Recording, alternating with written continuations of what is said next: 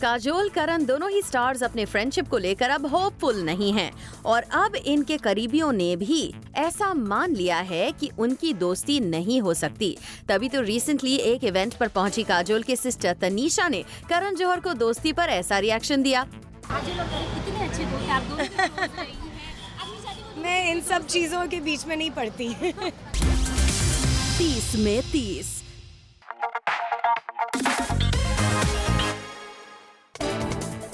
Actress Prachi Desai को फिर से डायरेक्टर निखिल अडवाणी ने किया रिजेक्ट सोर्सेस का कहना है प्राची पिछले कुछ समय से एक फ़िल्म के लिए निखिल अडवाणी को फॉलो कर रही थी लेकिन अब निखिल अडवाणी ने साफ़ किया है उनके पास प्राची के लिए नहीं है कोई film For all the Garma Garam Bollywood gossip news and more, download the.